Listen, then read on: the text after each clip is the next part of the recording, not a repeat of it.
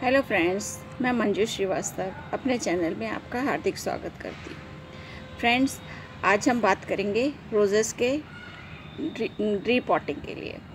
मतलब जो लोग नए रोज़ेस ख़रीद के लाते नर्सरी से, उनकी अक्सर शिकायत होती है कि हमारे प्लांट तो घर लाते मर जाते हैं, है ना? तो उनको लगाने का सही तरीका क्या है और उनकी पॉटिंग मिक्स का क्या कॉम्बिनेशन होना चाहिए? तो आइए देखते हैं। तो अभी ये मैंने आपको दिखाने के लिए प्लांट्स खरीदे, मेरे पास तो ऑलरेडी बहुत सारे हैं। तो ये तीन कल गमले ख़रीद कर लाई हूँ मैं। एक ये ऑरेंज है, एक ये शेडेड है और एक ये पर्पल कलर का है। तो इसकी हालत ज़रा नाजुक दिख रही है। ये फिर थोड़े ठीक दे रहे हैं इनकी सॉइल है तो रेड वाली, ये चेंज करना पड़ेगी। लेकिन इसकी ज़रा होनी चाहिए। पैम्परिंग थोड़ी तो ये ठीक हो जाएगा। इसमें कुछ खास नहीं है। मेरे ख्याल से मिट्टी का प्रॉब्लम है। तो मैं इसको निकाल के देखती हूँ कि इसकी मिट्टी कैसी है, फिर आगे देखते हैं। तो इसको निकालने के लिए ये होता है बेस्ट तरीका। इसकी जो दोनों होते हैं ना कॉर्नर, इनको पकड़ के धीरे धीरे खींचिए।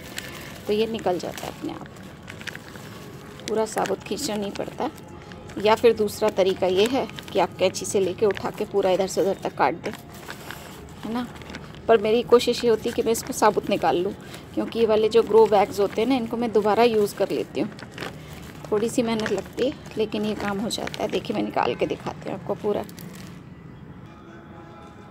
तो देखिए फ्रेंड्स ये इसकी ना लाल मिट्टी है। ये लाल मिट्टी की क्या क्वालिटी होती है? कि ये ना सूख के एकदम पत्थर हो जाती है। फिर इसमें से ना रूट्स बाहर नहीं निकलती हैं तो प्लांट की ग्रोथ ही नहीं होती। अब इसको निकालने के लिए क्या करेंगे इसको हम रेड मिट्टी हटाने के लिए कि इसको ना पानी में डाल देंगे, थोड़ी देर के लिए। ये तो निकल ही रही है ऑलरेडी तो चलो ऐसे ही निकालते हैं। ऐसे ही निकल जाती है तो ऐसे ही ठीक है। पानी में और पंद्रह बीस मिनट लगते हैं। चलो चलो, ये निकल गई ना, ऐसे। ठीक है? ऊपर ऊपर इसने देखो, ऊपर काली मिट्टी डाल रखी है कि सबको ऊपर से देखने में बुद्धू बन जाए। ये देखिए आप, ऊपर काली मिट्टी डाल रखी है और नीचे लाल मिट्टी है सारी। चलो खैर, वक्त पे चेंज हो गया। ठीक है? तो हम इसका पूरी मिट्टी चेंज कर देते हैं। अब इसको मैं यहाँ रख के दे रही हूँ ढक के, है ना? क्योंकि हवा लग के इसकी जड़ें सूख ना जाए इसलिए। इस रेड मिट्टी को तो अब हम हटा देंगे और इसकी जगह हम दूसरी सॉइल बनाते हैं। तो फ्रेंड्स ये देखिए ये मैंने लिए है आठ कटोरे मिट्टी। हम्म, ये इस वाले कटोरे से मैंने आठ कटोरे मिट्टी लिया है। एक कटोरा मैंने वर्मी कंपोस्ट लिया है एक कपोर एक कटोरा मैंने गोबर का खाद लिया है। अब इसमें मैं मिलाऊँगी एक चम्मच बॉन मील ये एक चम्मच बॉन मील ये आधा चम्मच पोटाश और आधा चम्मच सुपर फॉस्फेट। ठीक है? अब इनको मिलाऊँगी सारा अच्छा अच्छे से मिला के और ये इसमें पॉट में भरूँगी। ये पॉट देखिए आप, काफ़ी बड़ा है। सोलह इंच का पॉट है ये। काफ़ी बड़ा है इसमें नीचे होल है। और अभी इसको भर के मैं आपको दिखाती हूँ। इसको मिट्टी को अच्छे से मिला के उसमें भर के फिर आपको दिखाती हूँ प्लांट लगाते टाइम तो ये देखिए, ये मिक्सचर अच्छे से मिल चुका है। भरने के लिए बिल्कुल तैयार है। ठीक है? सब चीज़ें इसमें अच्छे से मिला ली। और अब देखिए इसको कैसे भरना है। इसमें पॉट में पहले हम लगाएँगे ये होल जो है ड्रेनेज होल इसके ऊपर गिट्टक रखेंगे। गिट्टक हमेशा हमें उल्टा रखना है। जो गहरा वाला हिस्सा, ये डीप वाला, इसको उल्टा ऐसा रखना है। ये गहरा वाला हिस्सा गड्ढे की तरफ़ होगा, ऊँचा वाला जो है ऊपर की तरफ़ होगा। ठीक है? और भी रख सकते हैं। दो रख देते हैं। ठीक है? इसके ऊपर थोड़ी सी रेत डाल देते हैं, ताकि मिट्टी से कभी छेद जो है जाने की जगह वो भर ना जाए और पानी उसमें रुके ना गमले में। ठीक है? ये हो गया। अब हम इसमें डालते हैं। ये जो हमारा पॉटिंग मिक्स है ये डालते हैं।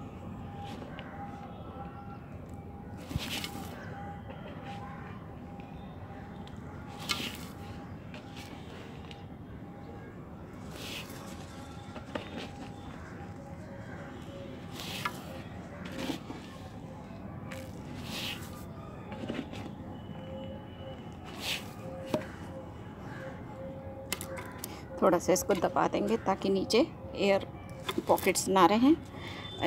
नीचे गड्ढा करके और अपना हम प्लांट लगाएँगे। दिखाती हूँ मैं आपको। देखिए, इसको हम लगा के देखेंगे कि इसकी ऊंचाई कितनी हो रही है। थोड़ा सा और डालना पड़ेगा। इसमें मिक्सचर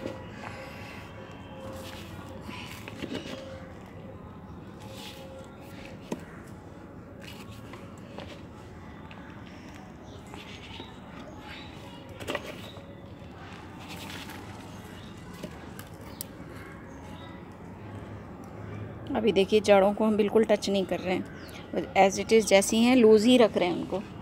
ठीक है ना?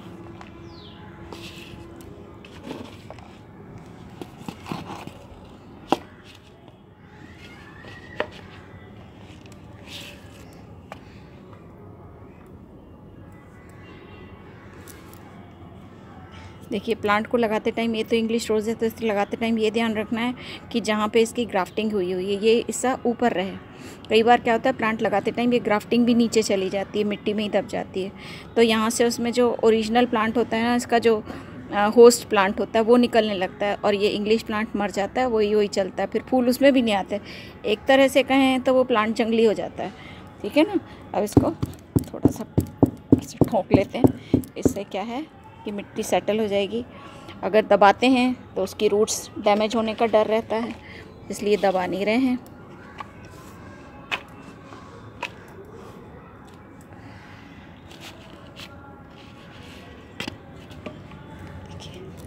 ये हो गया प्लांट लग गया हमारा, ठीक है। अभी ये देखिए, मिट्टी इसमें ऊपर तक भरी हुई है, लेकिन इसलिए भरी हुई है क्योंकि अभी पानी डालने के बाद मिट्टी दब जाएगी। तो ये जितनी हम चाहते हैं ना कि यहाँ से कम से कम तीन तीन अंगुल नीचे रहे इसके ऊपर से मिट्टी का और इसका किनारा, तीन इंच गहरा रहे। तो ये इतना मिट्टी दबने के बाद हो जाएगा क्योंकि पानी डालने से मिट्टी बैठेगी, दबेगी नीचे, ठीक है? तो अब पहली बार तो हम इसे खूब भर के ही पानी डालेंगे और फिर इसको अभी हम तीन, चार दिन छाया में ही रखेंगे क्योंकि प्लांट अभी कमज़ोर है। आपने देखा था रूट सारी इसकी हिल चुकी हैं। है ना? तो तीन चार दिन में ये अच्छी जब जड़ें अपनी पकड़ बना लेगा तो हम इसको धीरे धीरे निकालेंगे, कम धूप से ज़्यादा तेज़ धूप की तरफ़। अल्टीमेटली गुलाब को तो तेज़ धूप चाहिए, तेज़ धूप में ही रखना है, लेकिन अभी इसे छाया में रखेंगे। तो चलिए, पहले इसे मैं रखती हूँ छाया में। तो अब इसको छाया में रख दिया, ये खुले में ही रखा है, लेकिन ये टेरेस पे ऐसी जगह पे है जहाँ पे कि धूप बिल्कुल नहीं आती इस कॉर्नर में। धूप ही देखिए इस कॉर्नर है ना यहाँ से, इसमें कॉर्नर में धूप नहीं आती इधर। तो इसलिए इसको यहाँ रखा हुआ है। प्लांट इसमें पानी चारों तरफ़ से घुमा के डालेंगे हम, ठीक है? कभी भी एक ही साइड से पानी नहीं डालना है, क्योंकि उससे क्या होता है कि उधर गड्ढा हो जाता है। ठीक है? तो अब ये इस तरह से नए प्लांट की आपको पॉटिंग बता दी है। अब आप भी लगाइए पॉन्ट इसकी मैं अपडेट आपको दिखाऊँगी आगे। अभी और भी दिखाऊँगी ना, गुलाब पे रोज़ेज़ पे। तो इसमें आपको दिखाऊँगी इसकी अपडेट। फ्रेंड्स तो ये हो गई इसकी नए गुलाब की पॉटिंग। आपको किस तरह से करना चाहिए? और लकीली इसकी मिट्टी अच्छे से निकल गई। अदरवाइज़ में उसमें पानी में डाल के ना पूरे उसकी चिकनी मिट्टी अलग निकालनी पड़ती है। तो आई होप मेरा वीडियो आपको नए प्लांट्स लगाने में मदद करेगा। अगर आपको ये वीडियो ठीक लगा तो प्लीज़ इसे लाइक और सब्सक्राइब ज़रूर कीजिए। और अपने फ्रेंड्स में फैमिली मेंबर्स को शेयर कीजिए। अगले वीडियो में आपसे फिर मुलाकात होगी। Bye bye